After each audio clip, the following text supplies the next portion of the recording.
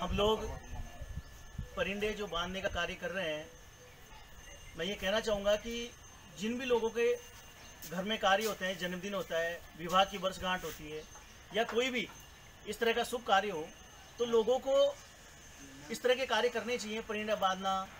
गायों के लिए चारा डालना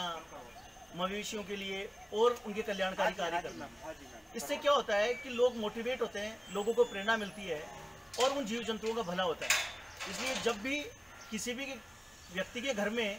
कोई भी शुभ कार्य हो, चाहे बच्चों का जन्मदिन दिवस हो,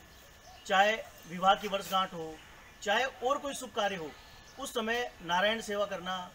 पक्षियों के लिए परिंदे बांधना, गायों के लिए चारे की व्यवस्था करना करना, इस तरह के शुभ कार्य करना चाहिए। मैं झोटवाड़ा से दीपक जांगीर अपनी समस्त टीम के साथ रणवीर सिंह जी तंवर, नरेंद्र सिंह जी राठौड़, विनोद जी जांगीर जगदीप सिंह जी, शेखावत, कमलेश जी खंडेलवाल आलोक अवस्थी सभी के साथ जय हिंद जय भारत।